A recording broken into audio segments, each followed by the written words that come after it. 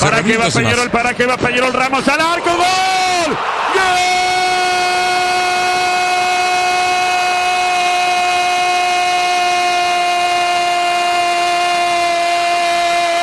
¡Gol! Peñarol, Peñarol, Peñarol, Juan Manuel Ramos. ¡Gol! Peñarol, Ramos, Ramos, la pelota por derecha, al toque al medio del primero definió con pie zurdo contra el poste izquierdo de Oliveira. Mira el gol que hace Ramos. Muchas veces decimos gol de otro partido. Créanme que fue de otro partido. Porque Peñarol no llegaba. Porque Peñarol no merecía. Y aparece Ramos, uno de los jugadores más cuestionados en Peñarol. Por derecha al centro fue de Bentancur. Y Ramos la acarició, la colocó. Gol de otro partido, sí. Pero vale en este. Uno para Peñarol. Cero para Olimpia de Paraguay. Juan Manuel Ramos, el autor de gol. Golazo de Cololo. Los dos más resistidos, los dos de partido más bajo. Bentancur con el centro y Ramos con la definición, que cuando aparece en el área no es la primera vez que termina convirtiendo. Acá agarró un sobrepique suave, justito, bien colocado contra el palo izquierdo para darle a Peñarol una ventaja que no se veía por ningún lado. Si será de otro partido, si será de otros jugadores. Esto que acaba de pasar realmente está totalmente fuera del contexto de lo que ocurrió en los primeros 45 minutos. Pero el fútbol es así.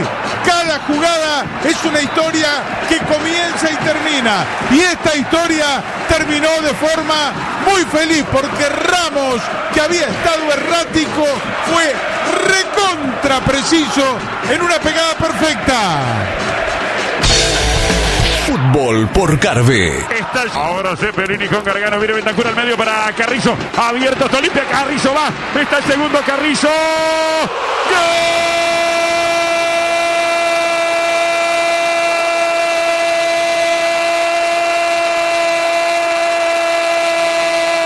Peñarol, Peñarol, Pachi, Pachi, Pachi, Pachi, Carrizo.